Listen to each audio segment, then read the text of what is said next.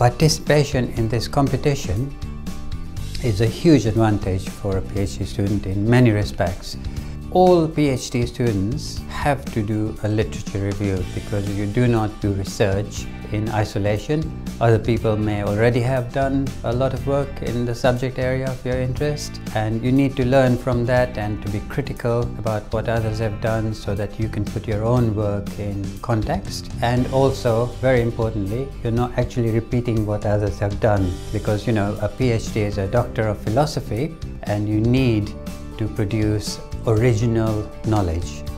It's a good opportunity to present the research to some of the editors of the, of the journal and also to have a, a, single author paper at this stage, sort of in academic career, would be a good thing. The instructions given were very detailed, so I was able to submit my paper with no hassle um, no difficulties. And it's an honour to be um, one of the, the final six, and it's great just to obviously the publication as part of it. Um, it can only be beneficial if I get the prize, I think it would be one of my greatest achievements so far.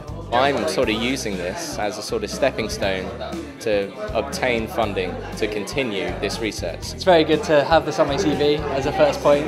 Getting my literature review published is definitely fantastic news, and so I think that'll help a lot.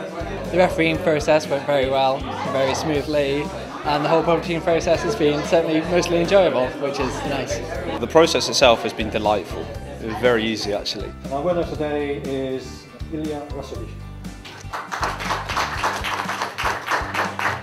I, I feel very happy.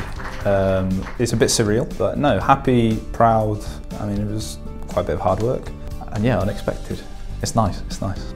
Exposure like this, being able to tell people about what it is that I do uh, and what it is that uh, my supervisor, uh, Professor Porfyrakis and what his group does at Oxford, um, it's very important because um, it's often these things can be overlooked. And yeah, you've just got to believe really in what you're doing, in the in the research, and you just got to go for it.